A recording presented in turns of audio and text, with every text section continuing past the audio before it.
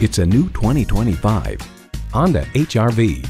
With all the configurations, all that's left to figure out is where you want to go. Plus, it offers an exciting list of features.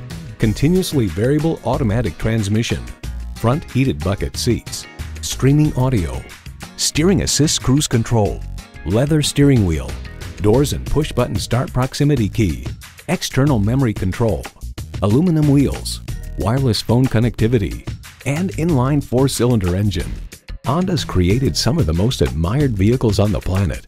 You need to drive it to believe it. See it for yourself today.